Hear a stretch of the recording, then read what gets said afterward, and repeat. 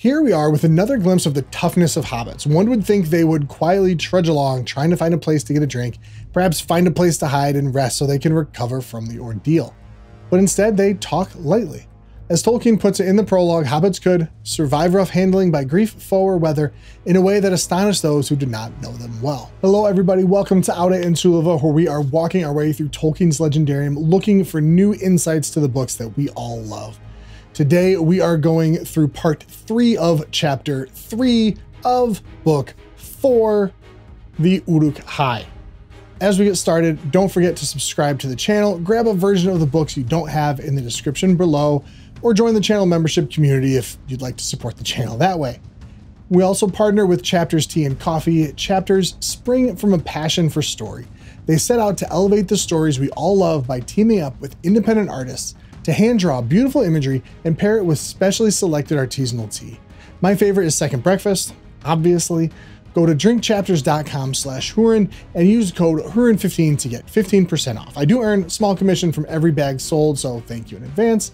It's a great way to sit down and enjoy the books we all love. That's drinkchapters.com slash Hurin and use code Hurin15 to get 15% off. All right, let's dive in. We come back to our intrepid pranksters back on the move in the careful, loving hands of the orcs. The Isengarders seized Merry and Pippin again and slung them on their backs. Then the troops started off. Hour after hour they ran, pausing now and again only to sling the hobbits to fresh carriers. Either because they were quicker and hardier or because of some plan of Grishnákh's, the Isengarders gradually passed through the orcs of Mordor, and Grishnákh's folk closed in behind. Soon they were gaining also on the northerners ahead. The forest began to draw near. Pippin was bruised and torn. His aching head was grated by the filthy jowl and hairy ear of the orc that held him. Immediately in front were bowed backs and tough, thick legs going up and down, up and down, unresting, as if they were made of wire and horn, beating out the nightmare seconds of an endless time. Starting at the second half of the section, we see the nightmare of captivity continue for Pippin, hour after hour, not only running from the day before, but now he's crushed in the arms of an orc. Clearly not a very soft way of carrying him either. I can imagine it's relatively bouncy. Every step almost giving him whiplash. His head already aching, it's just getting worse and worse with every step. There's nothing pleasant to see, just orc legs pounding out a rhythm of his aching head. And time passes. Now, I can't comment very much, if at all, about the plan of Grishnákh because I don't really see it doing anything in this whole chapter. We'll see Grishnákh show up again in another page or two, but none of this interaction, none of his interaction with Ugluk or the hobbits has anything to do with the Mordor orcs falling behind. The only thing I can really think of is it truly is because the Isengard orcs were quicker and hardier, and that will probably have a lot to do with the fact that they don't have the same adverse effects from the sun. The Moria orcs were not quite as lucky. In the afternoon, Ugluk's troop overtook the Northerners. They were flagging in the rays of the bright sun. Winter sun shining in a pale, cool sky though it was. Their heads were down and their tongues lolling out. Maggots, jeered the Isengarders. You're cooked. The Whiteskins will catch you and eat you. They're coming. First thing to note is the word sun is not capitalized. As I'm writing this, I'm struck by a thought. Maybe I'll do the actual research on this later, but maybe the sun is only capitalized when someone is talking and referencing the sun in dialogue. Not always, but only in those instances? I don't know. It could be a correlation between who's speaking too. Maybe it's just the more like noble blooded that capitalize the sun because they know who the sun really is. Anyway, that's not exactly why I'm bringing up the sun in general we're seeing the Moria orcs or the Northerners really struggling in the sunlight. Now, I couldn't exactly figure out why the orcs hate the sunlight. Rather, the sun weakens them. So we see the jeering from the Isengarders actually giving us some interesting insights. How could Ugluk and his followers stand the sun? Well, we'll hear Treebeard mention it in the next chapter, but it's generally accepted that Saruman somehow interbred orcs and men. Merry or Pippin mentioned it in the Scouring of the Shire that some of the ruffians look like people they saw in Isengard, so the Isengard orcs can run in the sun and it doesn't affect them, at least like not as much. But sun or no sun, once they see Eomer's riders are catching up to them and incre they increase their speed to get to the forest before the cavalry of the Rohirrim can catch them. But no, the riders draw level with them and hem them in with the river. We would think this would give the hobbits some hope. Maybe they could be rescued by these riders, but Pippin's train of thought takes him a completely different direction. He wondered very much what kind of folk they were, he wished now that he had learned more in Rivendell and looked more at maps and things. But in those days, the plans for the journey seemed to be in more competent hands, and he had never reckoned with being cut off from Gandalf, or from Strider, and even from Frodo. All that he could remember about Rohan was that Gandalf's horse, Shadowfax, had come from that land. That sounded hopeful as far as it went, but how will they know that we are not orcs, he thought. I don't suppose they've ever heard of hobbits down here. I suppose I ought to be glad that the beastly orcs look like being destroyed, but I would rather be saved myself. The chances were that he and Merry would be killed together with their captors, before ever the men of Rohan were aware of them. Here, the epistemic regime of the Lord of the Rings rears its head again. We normally hear the story from the least knowledgeable person's point of view, and we know Pippin didn't spend much time learning while in Rivendell. But due to Tolkien's interlacing, we have a bit of a better idea than Pippin anyway. We got to meet Eomer. We know the strength of his character and how he trusted Aragorn. We know the riders didn't see any bodies that weren't orcs. And I think we, as readers, have plenty of hope the hobbits weren't killed and were simply overlooked in the battle. Not to mention, you know, the prologue says they're alive. He does get a small boost of hope, which is quickly squashed by thoughts of getting killed before the riders can even figure out what they are. Luckily, hobbits are dowdy at bay. Though the hobbits are hanging in there, they clearly can't do anything about their current situation. The orcs almost reached the forest with their captives. Night came down without the orcs closing in for battle. Many orcs had fallen, but fully 200 remain. In the early darkness, the orcs came to a hillock. The eaves of the forest were very near, probably no more than three furlongs away, but they could go no further. The horsemen had encircled them. A small band disobeyed Ugluk's command and ran on towards the forest.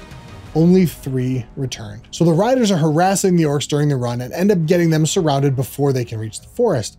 Only three furlongs they are. A furlong is about an eighth of a mile or 220 yards, so they're 660 yards away from the forest. And I think this is a tactical choice by the riders rather than just kind of a side effect of when they caught them. They can have some riders in the forest out of sight to patrol and even provide a little bit of, you know, call it psychological warfare. Has to be pretty demoralizing to see a group of your, we'll say, friends try to make it out of the trap and only have three of them come back. Now, we're really getting to the meat and potatoes of this section. Ugluk orders the hobbits to have their legs tied up. The last part of the order was carried out mercilessly but Pippin found that for the first time he was close to Merry. The orcs were making a great deal of noise, shouting and clashing their weapons, and the hobbits managed to whisper together for a while. I don't think much of this, said Merry. I feel nearly done in. Don't think I could crawl away far, even if I was free. Lembas, whispered Pippin. Lembas, I've got some, have you? I don't think they've taken anything but our swords. Yes, I had a packet in my pocket, answered Merry, but it must be battered to crumbs. Anyway, I can't put my mouth in my pocket. You won't have to. I. But just then, a savage kicked warned Pippin that the noise had died down, and the guards were watchful. Merry and Pippin finally get a chance to actually chat some, which is nice. And we can see Merry is just about at the end of his good-natured optimism. He's running out of hope. Remember, a few pages ago, Pippin was able to cut the bonds while tying his hands and retie them in the loose knot, so he has some movement, dexterity, whatever so he still has hope that they'll be able to do something. Merry obviously does not know this. And as far as I can tell, there are two different readings for how Merry reacts to Pippin's revelation of Lembas. One, we can take the normal hobbitry route and see Merry just continually joking even though it seems they're about to die when, you know, the Rohirrim finally attack the orcs. The other way is to read it as Merry actually like snapping at Pippin for his stupidity. Maybe something more exasperated uh, and angry than anything else. I have kind of a hard time thinking it's completely the second one, but I also can, like, I can't see it being completely good nature at this point, especially since he doesn't know about Pippin's hands being free. So I can understand him being, I don't know, call it a little ornery at this point. And if we see this as Merry really starting to lose hope, Pippin getting interrupted with a swift kick is like agonizing. Pippin has the words to give Merry hope and like bring his friend back from the brink of despair, and he's silenced. If you didn't already know, these orcs are total jerks. Okay, so night falls and Ugluk lets us know the riders are waiting until daylight to really attack, even though they can see really well in the night for at least for humans. Now I don't know how much time passed, at least enough for the moon to move behind some clouds. My guess is quite a bit of time passed. I don't know if you ever watched the movie We Were Soldiers with Mel Gibson and I think it was Josh Hartnett. I didn't bother looking it up. They're in Vietnam at a small camp and the sentries are at the edge of the camp watching for an attack well into the night, I, I think it was possibly like an hour or two before dawn, the Viet Cong finally attack, right when the sentries are losing their focus on the watch. Well, that's kind of how I imagine what the riders did here. They rode in relatively close, got off the horse, and just kind of killed a couple orcs at the edge of the camp, and they just fade away. Smoke bomb. Everybody gets that Archer reference? Cool. This is where we get to pick up with Merry and Pippin. Pippin and Merry sat up. Their guards, Isengarders, had gone with Ugluk. But if the hobbits had any thought of escape, it was soon dashed. A long, hairy arm took each of them by the neck and drew them close together. Dimly they were aware of Grishnákh's great head and hideous face between them. His foul breath was on their cheeks. He began to paw them and feel them. Pippin shuddered as hard, cold fingers groped down his back. While Ugluk and the other Isengarders are bad enough, I feel like this is the worst case scenario for the hobbits. Remember, Grishnákh is the only orc voice Pippin described as evil. Ugluk at least was singularly focused about just getting the hobbits to Isengard, and he didn't do anything like overtly cruel, at least by orcish standards. But Grishnákh, man, why is he searching the hobbits? And here we get another moment of fate intervening, at least my opinion. The thought came suddenly into Pippin's mind, as if caught direct from the urgent thought of his enemy. Grishnákh knows about the ring, he's looking for it. While Ugluk is busy, he probably wants it for himself. Cold fear was in Pippin's heart, yet at the same time he was wondering what use he could make of Grif- Grishnákh's desire. I don't think you will find it that way, he whispered. It isn't easy to find. Find it? said Grishnákh. His fingers stopped crawling and gripped Pippin's shoulders. Find what? What are you talking about, little one? For a moment, Pippin was silent. Then suddenly in the darkness, he made a noise in his throat. Gollum, Gollum. Nothing, my precious, he added. Now, right here, this is a 9,000 IQ play by Pippin or if we stick to the pattern I've been noticing on this read through by Eru himself, is the phrasing that really catches me, as if direct from the urgent thought of his enemy. Now, I'm well aware that Pippin has been hearing the orcs talk and hearing Ugluk saying the hobbits are to be unspoiled, meaning, you know, nothing stolen from them. And even just a page or two ago, he mentioned they didn't take anything but their swords. So I guess it's possible for the puzzle pieces to finally snap together after a couple of nightmare da- days of endless running.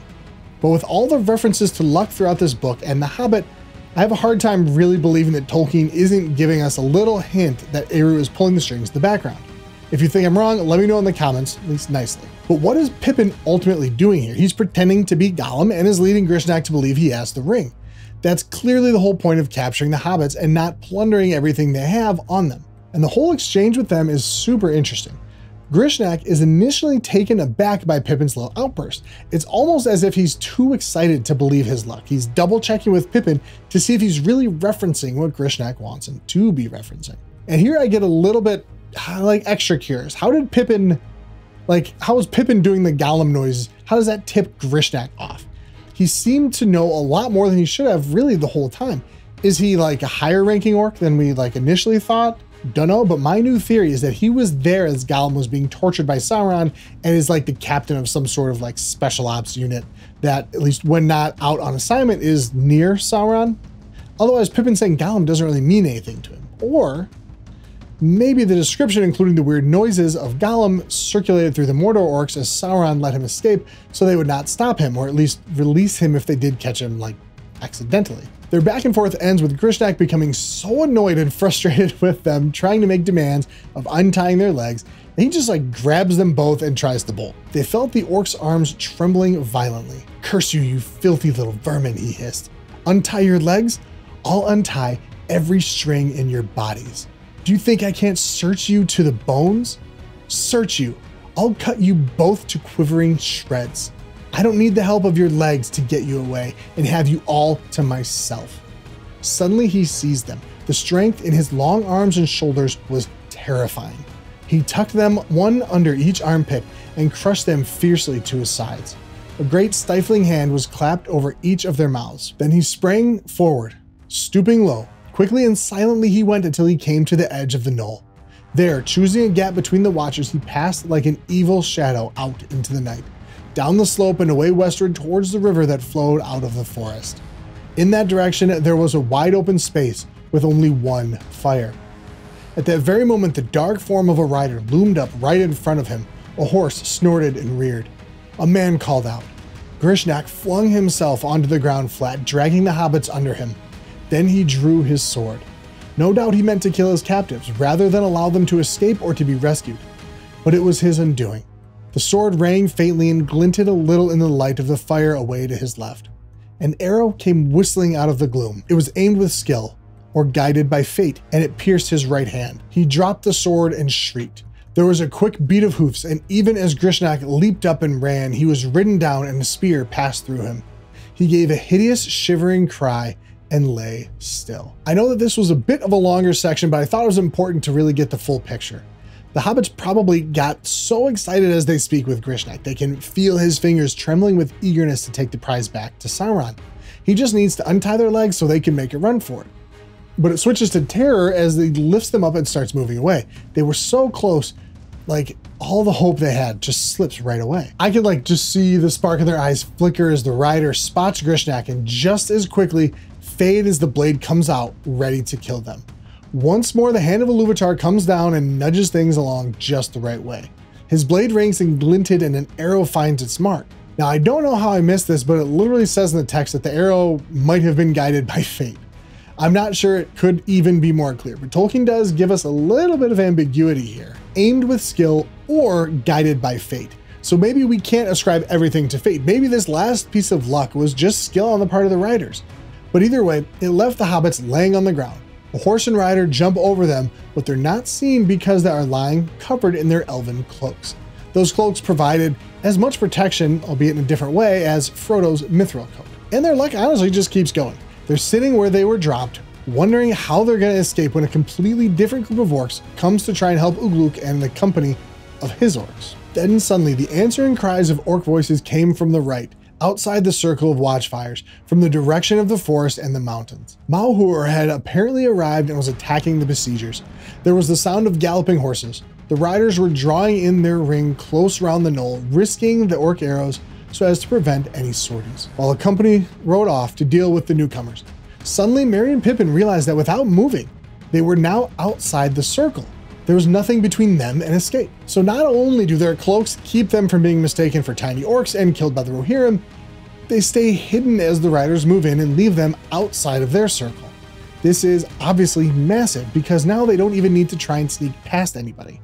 Even though hobbits are essentially silent when they want to be, human eyes are set up in a way that, uh, like motion, especially kind of in the periphery, like whoo, draws your attention. As close as they are to the forest, they're still in the middle of a plain, so it's not like they can skirt between trees or anything like that.